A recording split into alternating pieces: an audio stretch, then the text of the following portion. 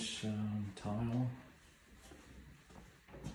And we're doing multiple things actually. We're doing this uh, shower floor. Doing uh, next to the bathroom, and vinyl and some chairs. Yeah, some water deposits and so there's gonna be some reaction. We're using slightly acidic. I'm trying to be careful around the marble walls.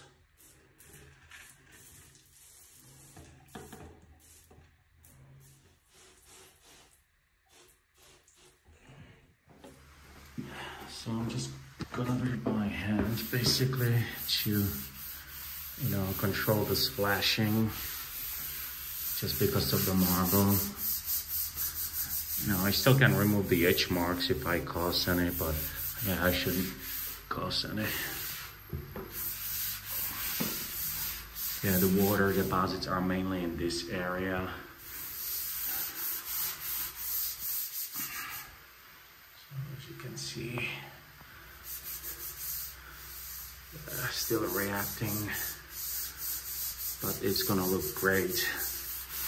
So I'm just gonna agitate it, let it well for about 20 minutes, then scrub it again and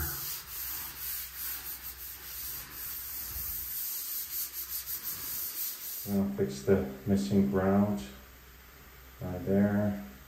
And they have a hole in the marble right there. I'm gonna patch, I'm gonna mix epoxy and fix it.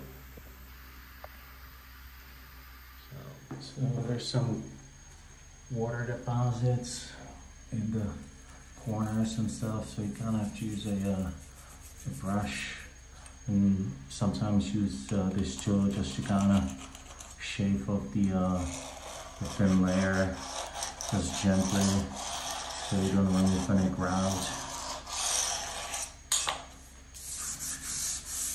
But yeah, it's so much better. It's like 99% better. So I'm just gonna keep working at it. So all the water deposits from the grout is gone.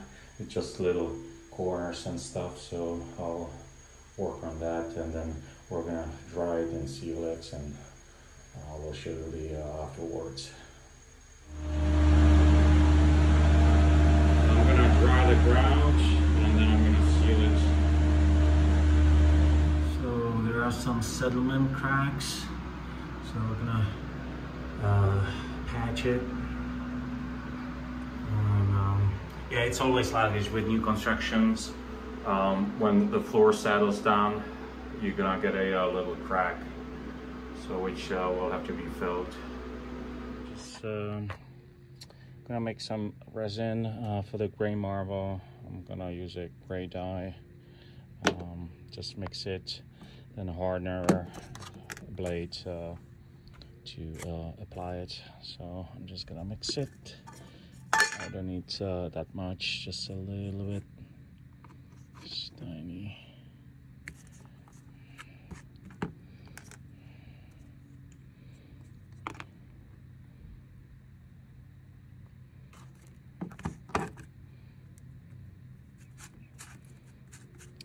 Yeah, I'm gonna need both hands, um, but I'll be back. All right, mix it, fold it.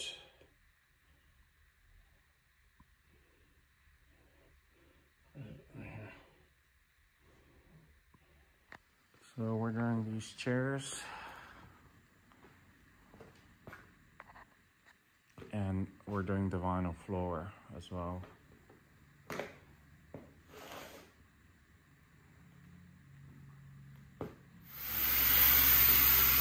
Starting with these. Yep.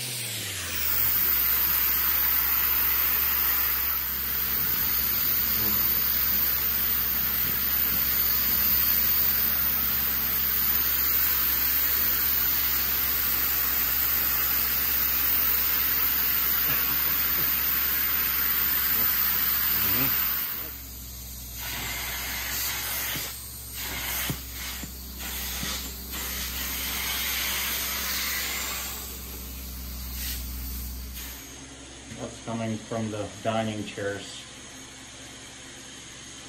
Kind of yellowish. Oh.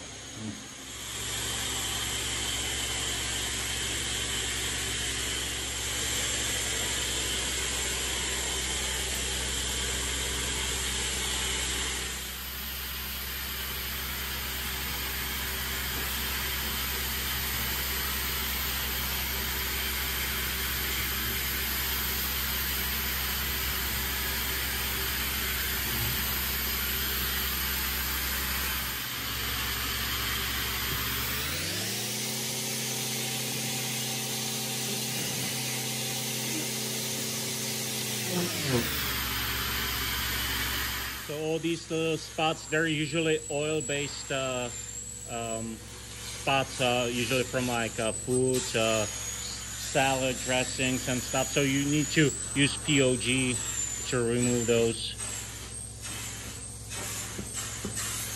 Sometimes I even use like 70% uh, alcohol, but with that you just have to let it dwell for maybe an hour. This is uh, much faster. And then you have to rinse it with uh, alcohol, rubbing alcohol.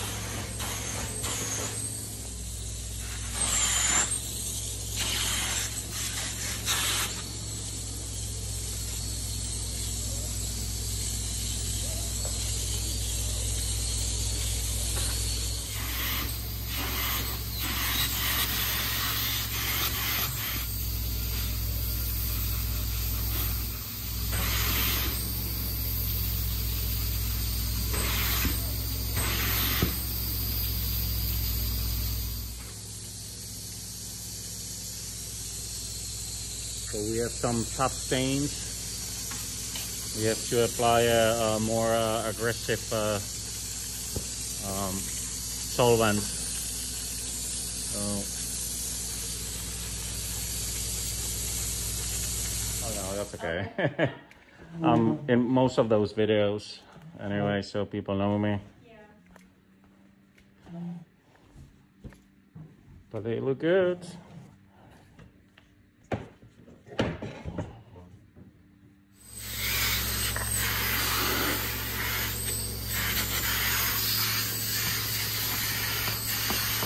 Yeah, these two spots are kind of stubborn. So we have to work on it. Sometimes you have to do it, you know, multiple times, you know, the application and just let it dwell. And then come back to it, rinse it, and again come back to it. And, you know, but these are drying nicely in the sun. And uh, we've got uh, more right here.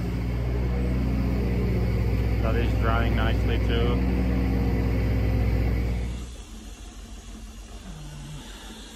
Getting the cocktail ready for uh, the Italian grout and for the vinyl. Yeah, the vinyl is kind of saturated. I mean, saturated, pretty dirty. Uh, lots of grease.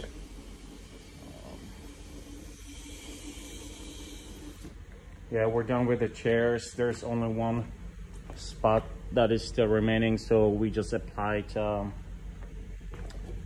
the super spotter it's a uh, solvent uh, based spotter uh, we're just gonna let it dwell and then see what comes up. Uh, then we have to uh, rinse it out because uh, there's gonna be residue. So we have to rinse it out properly. We're gonna hit the floors in the bathrooms.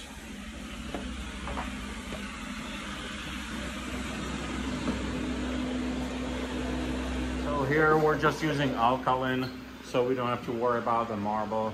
Alkaline will not etch it.